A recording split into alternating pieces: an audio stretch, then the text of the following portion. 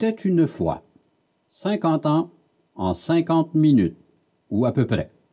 Conte de fées maladroit. Voici l'histoire d'une des courageuses éminences grises de l'éducation populaire, mieux connue sous le nom de Cégep. En ce temps-là, il y a très très longtemps, un autre siècle quoi, que dis-je, un autre millénaire, dans le royaume de Québec régnait la grande noirceur.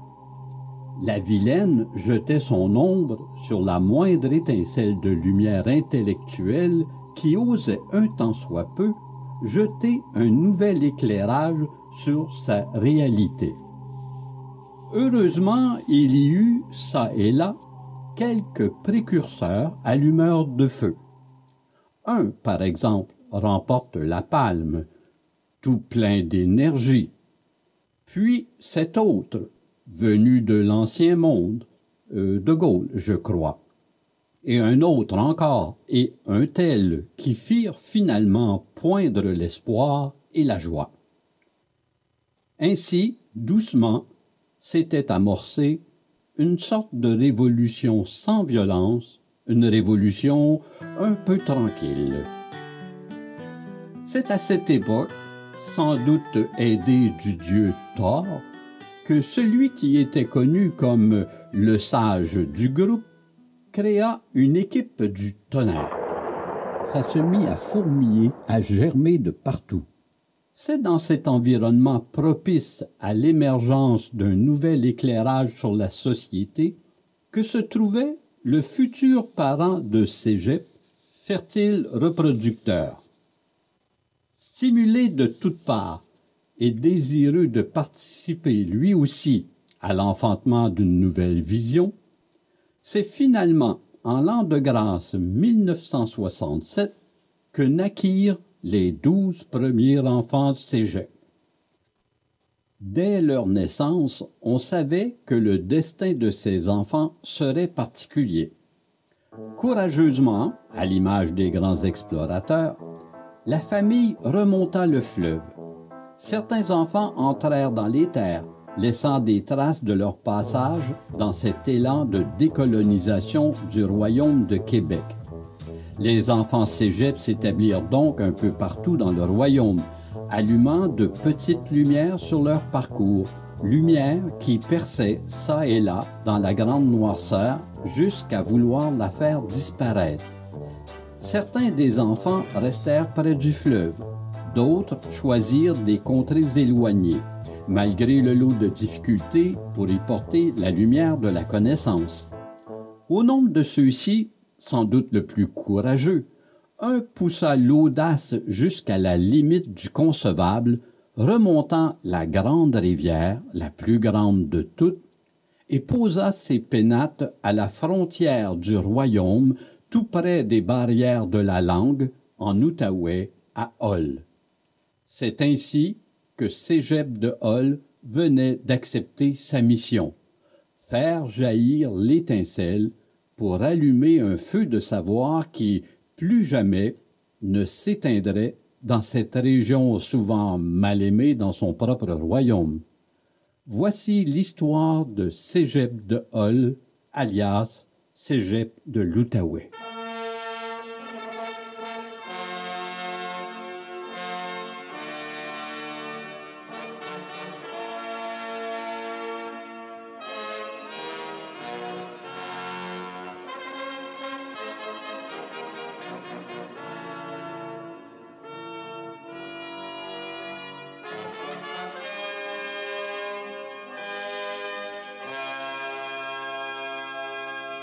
Quand Cégep arriva enfin dans ces terres lointaines, il trouva rapidement des amis prêts à l'aider dans sa mission. Accompagné de l'Institut de technologie, des collèges classiques Marguerite Diouville et Marie Médiatrice, de l'école normale, de l'Institut familial de Hall et de l'école des infirmières de l'hôpital Sacré-Cœur, cette nouvelle famille prit le nom officiel de Cégep de Hall. Le premier modeste château que Cégep habita se trouvait sur une hauteur de Hall, sur le boulevard Taché, en face de la colline du royaume voisin, et il y élut domicile temporairement, car il voyait grand. Hall avait maintenant son cégep francophone. Cégep de Hall ramena sous son toit 640 belles jeunesses étudiantes, dont la majorité provenait des collèges classiques, et 130 disciples, membres du personnel, pour les encadrer. Toutes ces personnes étaient prêtes à monter aux barricades pour illuminer le royaume. Au départ, les programmes offerts seront ceux de lettres, de sciences humaines, de sciences pures et appliquées, et ceux de chimie industrielle et d'électronique. Cégep prenait sa place, se faisait des amis et parlait de plus en plus fort. Puis, insidieusement, il se mit à parler des deux côtés de la bouche. Les anglophones avaient intégré les lieux, et même certains francophones devaient enseigner in English, please.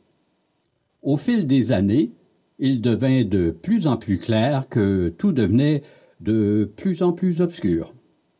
On se comprenait mal, of course. Le ménage battait de l'aile.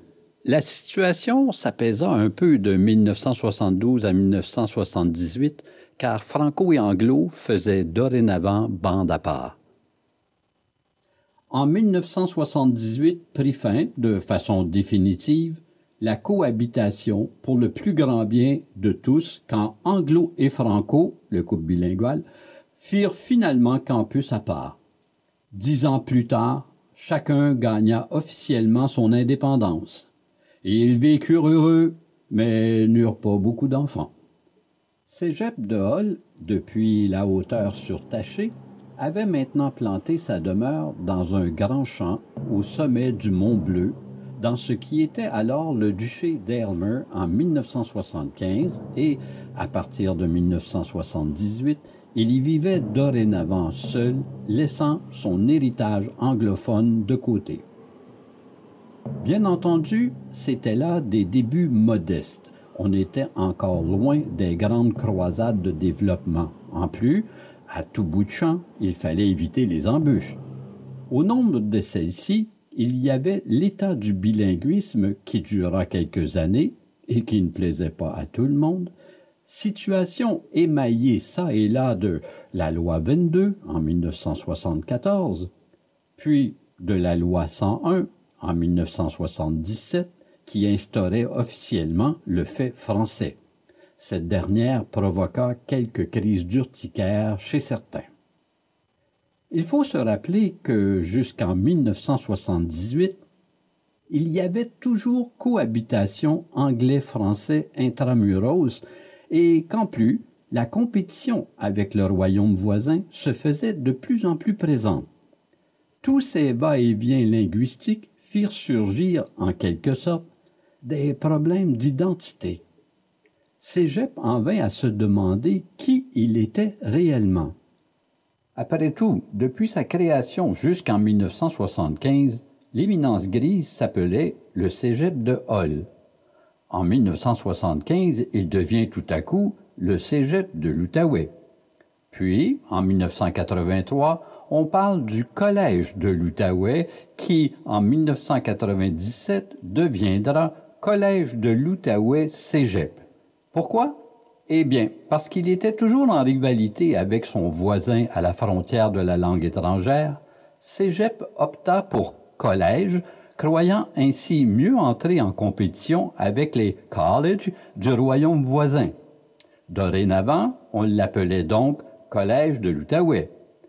Puis, en 2005, après d'innombrables remises en question, Cégep troqua son nom de baptême, soit Cégep de Hall, dit Cégep de l'Outaouais, noté pas d'accent, dit Collège de l'Outaouais, dit Collège de l'Outaouais Cégep, pour celui de Cégep de l'Outaouais, avec accent, et même trois accents, qui, tout en remontant aux sources, correspondait mieux au rôle régional qu'il voulait tenir afin d'assurer une accessibilité la plus grande possible à la jeunesse vivant même aux confins du royaume. Vous me suivez? C'est ainsi qu'au fil du temps, sûr de lui-même et de ce qu'il était, Cégep en vint à l'évidence qu'il devait partir en croisade et tout faire pour rejoindre le plus grand nombre. Pas question de couper les cheveux en quatre. Aussi, il se fendit en trois pour accomplir sa mission. Ne faisant ni une ni deux, il augmenta encore ses effectifs. Déjà, Cégep avait assuré ses arrières en 1975 avec la construction de la cabane en bois rond, clin d'œil au fondateur, cabane qui devenait un lieu propice aux rencontres des aînés de l'Outaouais. Aujourd'hui, l'ARCO, Association des retraités du Cégep de l'Outaouais, maintient le fort, une sorte de mémoire collective pour qu'on n'oublie pas les origines et pour qu'on maintienne les liens. Le passé est garant de l'avenir, se disait-il.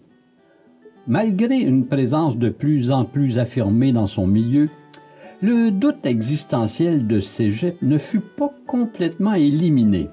Il y avait une ambiguïté.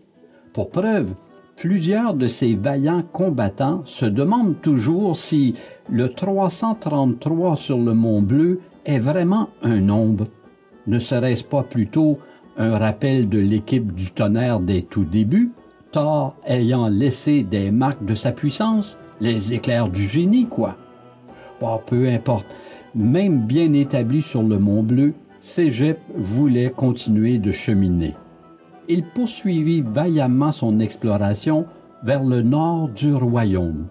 En Rabaska, il ouvrit le chemin jusqu'à Maniwaki. Une autre étape fut franchie. Toutes ces victoires, ces gains, se sont faits à la suite de longs combats menés tantôt contre le royaume voisin, bien entendu, mais il faut le dire, parfois il s'agissait plutôt de guerres intestines. Il y eut en effet bien des combats en passant par les nombreuses grèves, la loi 111, le printemps érable, les problèmes liés à la sous-traitance pour les employés de soutien à Félix, les coupures budgétaires et divers conflits opposant gouvernement et syndicats, etc. Au sortir de ces conflits, au sortir de ces conflits, qui parfois ne faisait pas de gagnant, Cégep de l'Outaouais ne perdit jamais confiance et fonça droit devant. Parfois amoché, mais jamais abattu, il poursuivit son travail, devenant même un lieu de haute importance pour le Royaume de Québec. Ainsi, il devint l'hôte des Jeux de la francophonie en 2001 hôte de cégep en spectacle, hôte des rencontres pédagogiques à QPC, porteur d'un volet international, puis il y eut les Jeux du Québec, les prix du ministre, etc. Tout au long de son parcours, parfois tumultueux, Cégep, bien que de plus en plus actif dans son royaume, a toujours gardé en tête le but premier de sa mission rendre la connaissance accessible au plus grand nombre, jeunes et moins jeunes. Voilà comment s'amena ce qu'on appelait jadis l'éducation aux adultes, qui devint la formation continue, qui continue et continue encore. Certaines personnes se demandaient comment Cégep, si jeune et si frêle, pouvait mener autant de combats de front. Il n'avait pourtant rien d'un Hercule. Eh bien, voilà, c'est que dans son périple, la magie l'a aidé. Euh, après tout, on est dans un conte de fées, alors il est normal d'avoir des pouvoirs magiques. Et ces interventions magiques lui ont permis de foncer vers l'avenir prometteur. Quand Cégep a cru que le meilleur moyen d'accomplir sa mission résidait dans la communication, il a trouvé sur son chemin des grimoires de toutes sortes. Partout dans son royaume apparurent des écrits magiques qui proposaient différentes solutions à différents problèmes. Par exemple, Contrepoint, parution syndicale pour faire le point, mais aussi pour donner des coups de poing à l'occasion d'où le titre avec point P-O-I-N-T et P-O-I-N-G. L'entremetteur donnait des informations sur diverses activités étudiantes, affichait les réalisations, exposait l'esprit créateur de la jeunesse, mettait en lumière l'effervescence estudiantine. Parallèles et convergences, pour aller au fond des choses, articles sur des recherches scientifiques ou autres. Le roi Félix, pour mettre au parfum celles et ceux qui vivaient au campus Félix Leclerc. Informations scolaires pour les étudiants. Le tout rédigé par les services aux étudiants. Sans nom, sans réalisation. Meilleur moyen de faire connaître les personnes créatrices dans différents domaines. Le titre dit tout. Une idée de Rosélène Raté. L'inquisiteur dénonçait un peu plus méchamment ce qui lui paraissait injuste, inéquitable, bref, euh, à peu près tout. Texte vitriolique, caricature cinglante, un peu méchante aussi. Le plumeau s'adressait au personnel enseignant. Un certain DE de l'époque l'appelait le plus maudit. Cette publication suscitait la réflexion, proposait des moyens de combat, guidait le personnel enseignant en le gardant au fait de ce qui se passait ici et ailleurs. Le maudit mettait en garde tout un chacun pour ne pas tomber dans les pièges de la langue.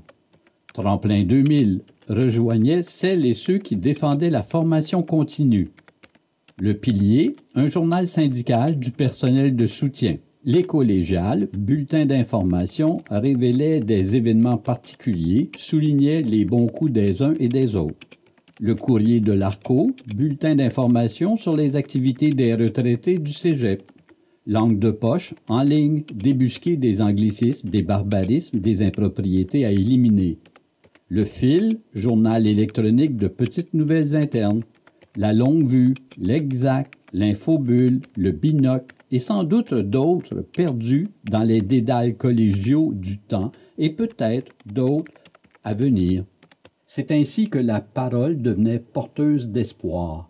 Une fois les choses dites, il fallait maintenant passer à l'acte, et Cégep fonça, tête première, dans l'action. Quand vint le temps de s'impliquer, Cégep a eu recours à d'autres pouvoirs, des super-pouvoirs. Certains qui rendent fort, qui font de grands combattants et de grandes championnes, on dit même qu'un de ses pouvoirs transformait des personnes en griffons redoutables qui accomplissaient de grands exploits.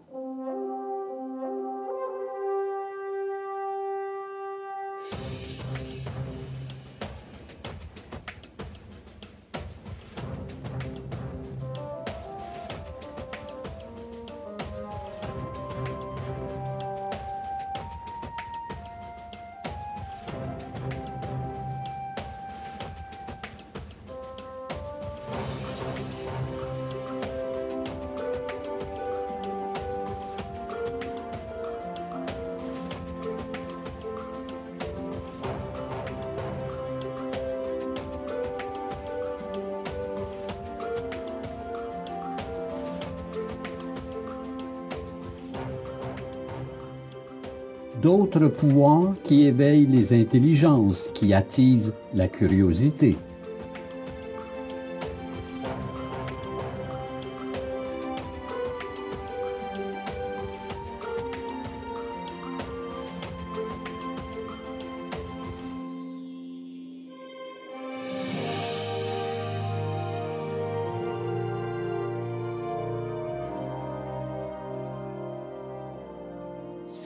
Avait même un pouvoir très spécial, celui de faire apparaître de l'argent pour donner des bourses aux étudiantes et étudiants.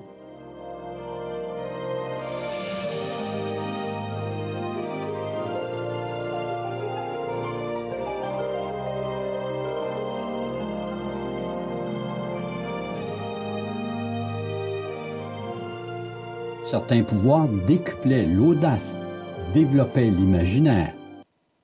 On avait Les Fous de la Rampe avec plus de 30 productions théâtrales. Dont Burger Love, Hamster, Gros et Détail, ADN, La visite de la vieille dame, Lentement la beauté, Taille, Les mots, Le grand cycle ordinaire remix, No, Sainte-Carmen de la Maine, L'infirme des La maison de Bernarda Alba, Les amours, Téléromans, Marcel poursuivi par les chiens, Jeu de massacre, Isma, Le psychomaton, Hôtel des deux mondes, Cabaret Neige Noire, Quelques humains, Calouette, Ranch, L'Odyssée, Albertine en cinq temps, L'importance d'être constant, Huit clos, L'ombre d'un miroir, La chute de la salamandre, Les sous-sols des anges, les héros de mon enfance. Et ce n'est pas tout. Il y a eu aussi Unity 1918, l'affaire du parc, Transport de femmes et course, d'encre et de sang, La cantatrice chauve, Littoral, Les turlupinades, Jésus de Montréal, Trois visages, Les acteurs de bonne foi et Le cœur révélateur. Puis il y a eu Les crinqués, la troupe de danse Dépendance, la salle de spectacle, l'auditorium, Cégep en spectacle, comité femmes, le 8 mars, intersection etc. Dans tous les domaines surgissaient des performances remarquables. Cégep était conscient qu'il exigeait beaucoup de chacune et chacun. Aussi, à l'occasion, il savait récompenser ses combattants, quitte à s'exposer à quelques débordements. Nul besoin de super pouvoir, mais tout de même d'un peu d'élixir de bonheur, de la cervoise bien fraîche, de l'ambroisie, du nectar, et hop, c'était le retour de la joie. Il y eut les journées des AA qui n'avaient rien à voir avec les alcooliques anonymes, les spectacles du 25e et du 40e anniversaire des cégeps, les journées de la reconnaissance. Il y avait toujours matière à fêter. Fêter quelque chose, surtout les grands combats, mais aussi parfois c'était simplement pour s'amuser. Ces occasions, ces répits, soudait les troupes et les énergisait, ce qui contribuait à maintenir bien vivant le goût de poursuivre l'aventure. Évidemment, pour continuer sa percée, ses avancées, son combat, Cégep misait sur d'autres redoutables objets magiques.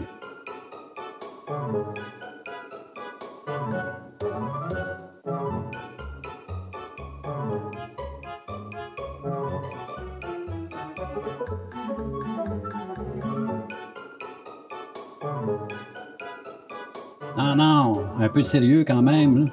Cégep misait sur les objets magiques les plus puissants de tous, les cerveaux.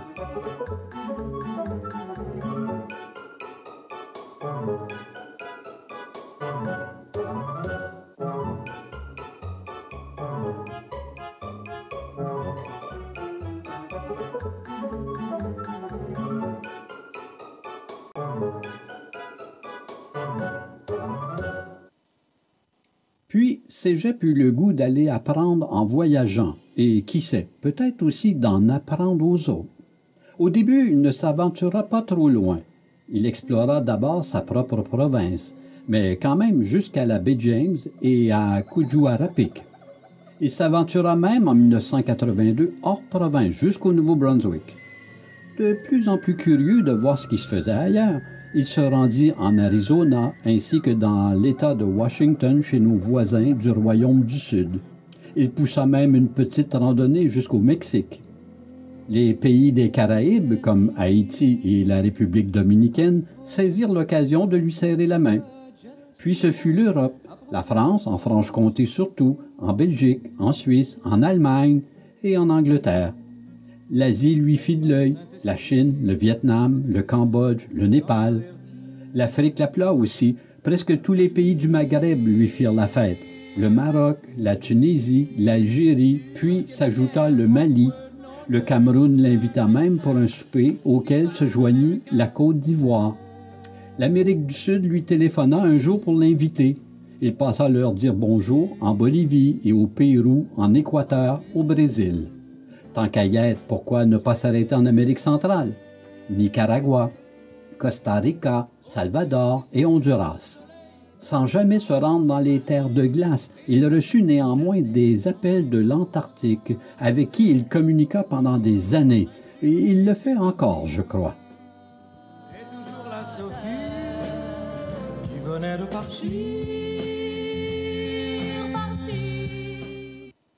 Voilà pourquoi aujourd'hui, Cégep compte 4 926 étudiantes et étudiants et plus de 700 membres du personnel. Quelques 29 programmes sont offerts à raison de 5 préuniversitaires et 24 techniques, dont les deux plus récemment implantés qui accueillent leur première cohorte étudiante en technique juridique et en technologie de l'architecture.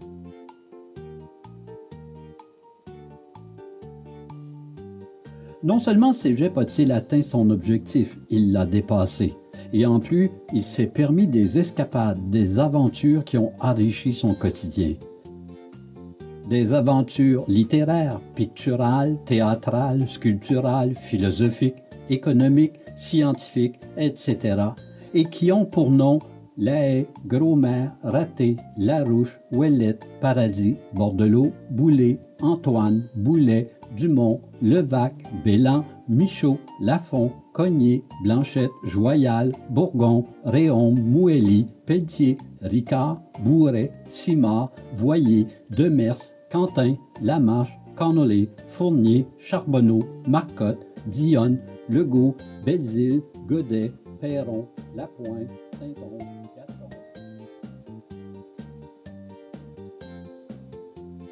Si tout ceci a été possible, c'est grâce à ce curieux aréopage composé de gens d'ici et d'ailleurs dans le royaume de Québec.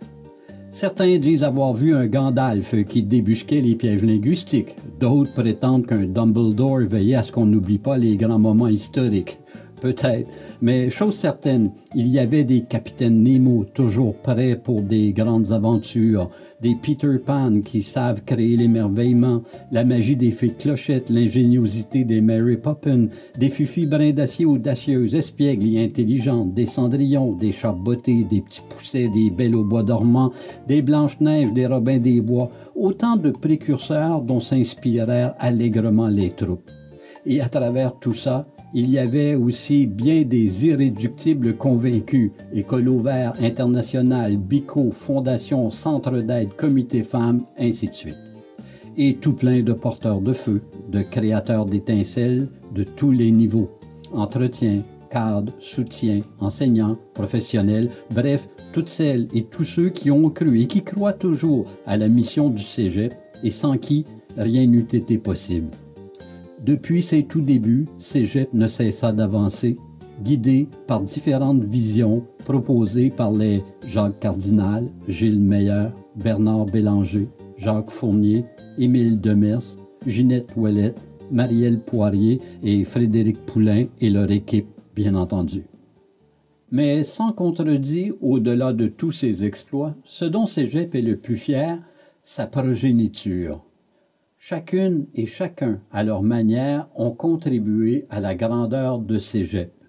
Il y a, bien sûr,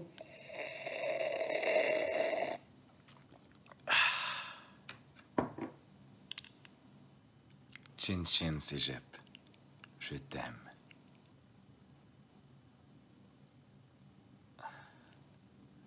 Bon, fallait clin d'œil. Bonne fête, Cégep de l'Outaouais. Bravo, Cégep de l'Outaouais, pour vos 50 ans! Let's go! Bravo, Cégep! Lâche pas! Bon 50e Cégep de l'Outaouais et merci à tout le personnel. Joyeux anniversaire, Cégep de l'Outaouais. Je t'ai pas connu tellement, j'ai pas passé beaucoup de temps chez toi. Mais il y a deux personnes qui me tiennent toujours à cœur, c'est France Lebel et Christine Kozlowski. Salut tout le monde. Profitez-en bien pour le prochain 50 Hey, ans. 50 ans. Un gros bravo à tout le personnel du Cégep de l'Outaouais, parce que c'est grâce à vous que mon passage au Cégep a été très, mé- très mémorable. Oui, votre cour arrière hallucinante m'a aidé énormément dans mes entraînements, mais c'est particulièrement votre façon de me supporter, de m'encourager qui a rendu ça mémorable. Et ça, je l'oublierai jamais. Alors, merci de nous supporter, nous les étudiants, comme vous le faites. Et euh, longue, longue vie à chacun de vous et au Cégep de l'Outaouais. Cégep, j'ai abusé de toi. J'ai abusé de tes activités parascolaires culturelles. Ouais, parce que j'étais en sciences humaines, euh, pas de maths. Ah, non, mais au-delà de mes profs, là, euh, malades comme euh, Jean Dumont en français, José L'Italien en psycho, puis plein d'autres, j'ai abusé de ton auditorium. C'est là où j'ai fait renaître le théâtre étudiant. C'est là où j'ai animé et même participé à Cégep en spectacle. J'ai fait de la radio étudiante en toi, Cégep. Et c'est aussi en toi, Cégep, que j'ai trouvé ma blonde. Ma femme, mon épouse, mon amante, la mère de mes enfants. Et inquiétez-vous pas, là, c'est toute euh, la même personne. Et c'est aussi en toi, Cégep, que j'ai commencé à muer. Et comme vous l'entendez, c'est pas tout à fait terminé. Bravo, Cégep. Lâche pas, Cégep. Continue, Cégep. Go, go, go, Cégep! Bravo, Cégep de l'Outaouais. Bon anniversaire. Salut Cégep, joyeux anniversaire! Salut mes amis du Cégep. Bonne fête et joyeux 50e. Yes. Au nom de tous tes employés Coop School, bon 50e Cégep. Hey, bonne fête, Cégep. Euh, bravo pour tes 50 ans d'évolution et de révolution de l'éducation. Alors, je t'aime. Bonne fête.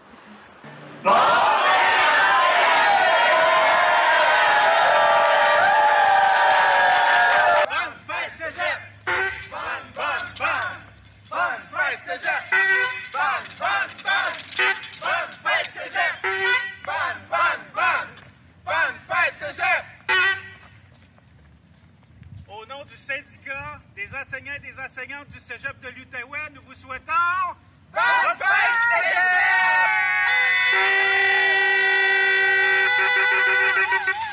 Du Maroc, joyeux anniversaire Collège de l'Outaouais. Bonne fête, le Cégep. Bravo. Bon 50e à tous mes amis du Cégep. Aujourd'hui, Cégep de l'Outaouais a de quoi être fier de ce qu'il a accompli. Bravo, Cégep. Le Cégep de l'Outaouais, c'est aussi la formation continue, là où j'ai eu l'occasion d'explorer les nouvelles technologies. Merci beaucoup, puis bon cinquantième. Un cinquantième, ça se fait, surtout quand on est membre de l'ARCO. Bon, cinquantième, Cégep! Les 50 ans du Cégep de l'Outaouais, c'est 50 ans de construction de notre région. Merci. Heureux cinquantième!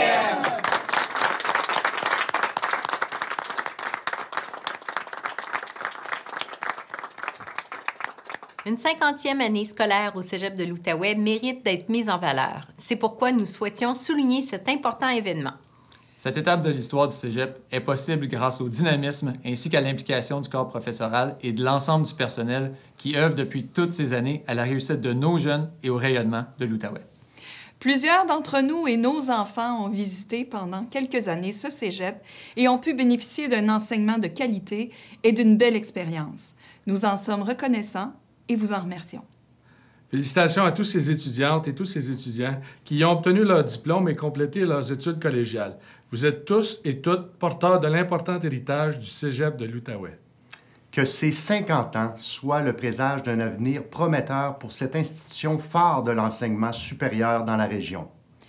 Bonne soirée à tous! Bonsoir à tous et félicitations au Cégep de l'Outaouais pour le travail remarquable que vous faites depuis 50 ans. Et bien sûr, félicitations à tous les cégeps pour cet anniversaire important. Je vous souhaite tout le meilleur pour les années à venir. Félicitations encore. Le parcours n'a pas toujours été facile pour Cégep. Et tout au long de son aventure, il y a eu bien sûr des défaites, mais surtout des victoires. Et toutes ces victoires ont été possibles grâce à ces aides, y compris de celles et ceux que Cégep a perdus au combat.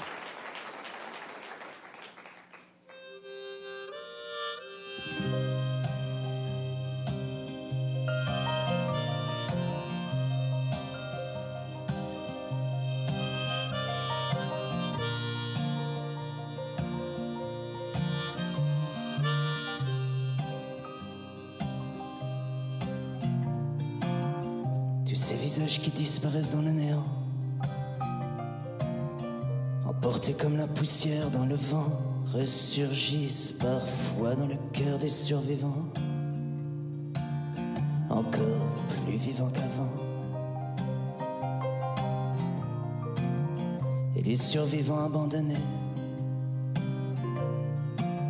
Ceux qui restent seuls dans une maison vide se demandent ce qu'il faudrait bien faire de tous ces meubles, ces vêtements et ces objets devenus encore plus présents qu'avant. Le temps efface tout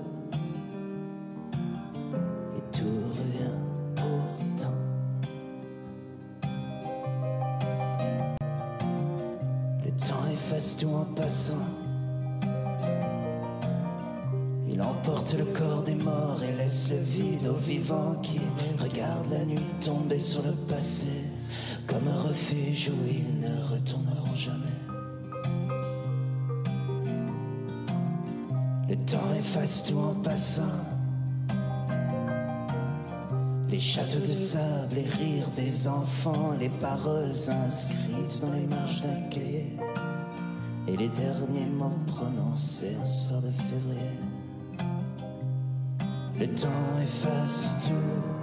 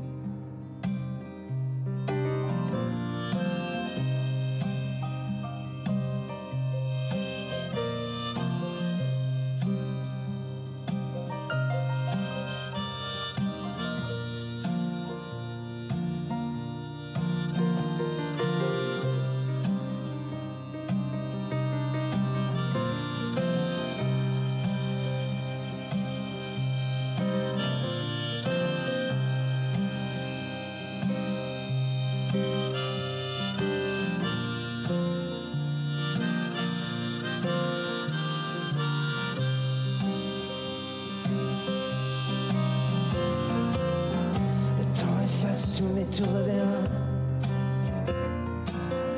Et ces visages qui disparaissent réapparaissent comme des jardins qui prennent racine dans le cœur des survivants.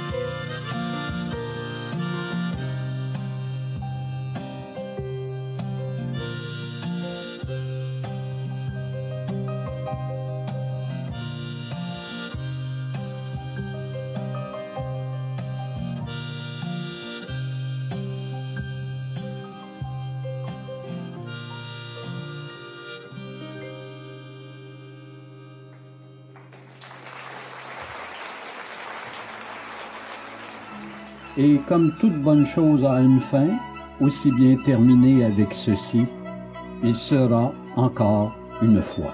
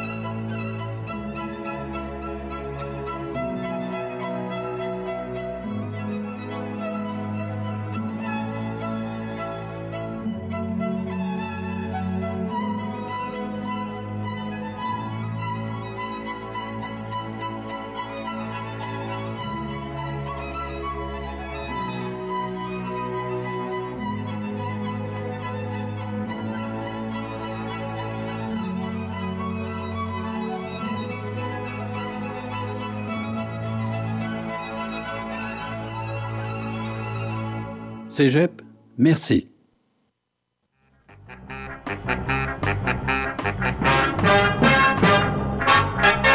Un jour, un jour, quand tu viendras, nous t'en ferons voir de grands espaces.